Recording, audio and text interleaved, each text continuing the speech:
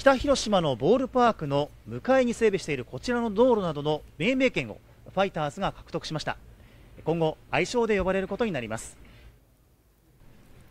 愛称が決まったのは北広島市に建設中のボールパーク周辺の道路や歩道橋など合わせて5カ所です。北広島駅から球場につながる道路はボールパーク通り。北側の市道はアンビシャス通りと命名されました。またサイクリングロードからボールパークにつながる新たな歩道橋はビッグボスブリッジと名付けられました。ファンとファイターズの架け橋という思いを込めた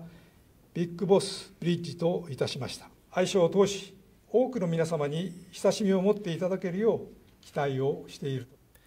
命名権の有効期間は来年1月から5年間です